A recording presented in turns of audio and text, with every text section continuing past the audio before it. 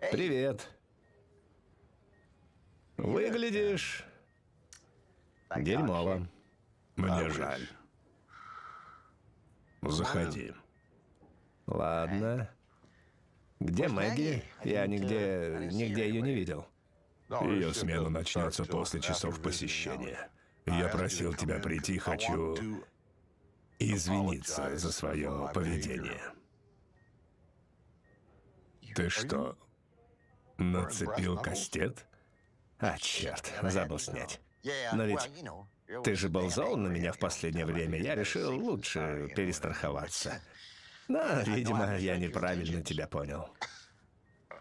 Не надо. Серьезно, не смеши меня, Бракмайер. Это больно.